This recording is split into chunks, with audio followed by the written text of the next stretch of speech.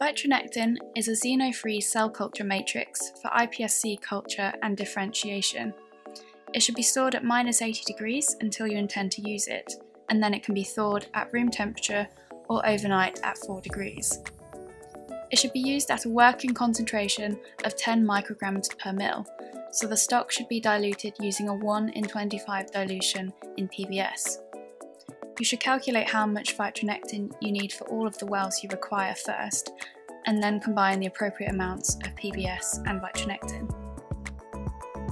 In the following video, we will be demonstrating how to coat 6 well plates with vitronectin, but there are many different types of substrate available to use when culturing iPSCs.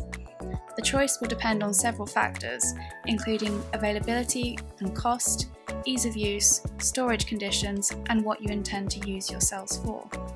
Some of these options are animal derived, which you may need to specifically avoid, particularly for clinical applications. Some substrates are optimized for use with specific media.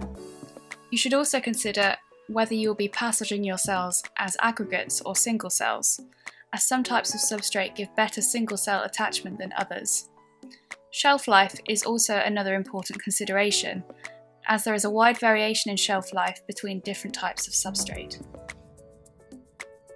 First, calculate how much vitronectin you need for all of your wells, then combine the appropriate amounts of PBS and vitronectin.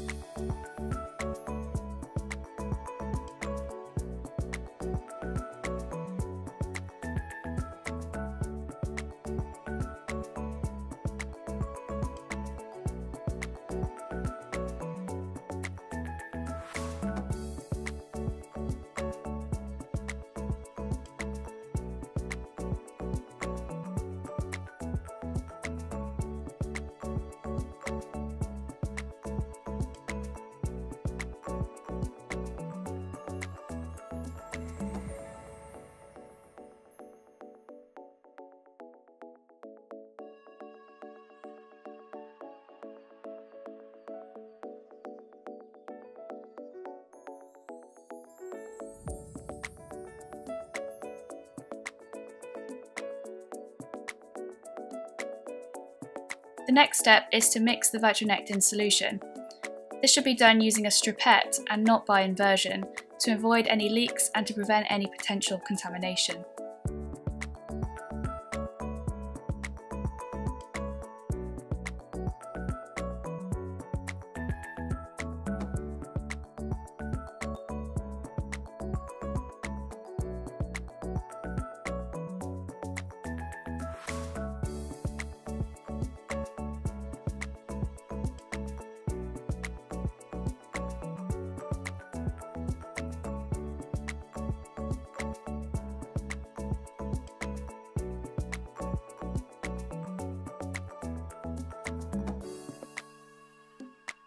After the mixing is complete, add 1 ml of the vitronectin solution to each well of your 6 well plate.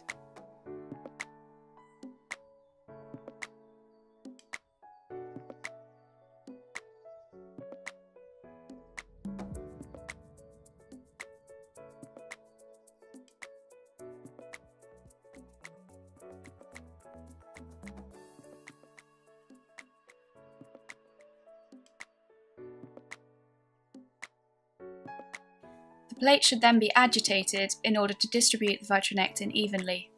This is important because any gaps in the vitronectin layer can potentially cause your cells to detach from the plate.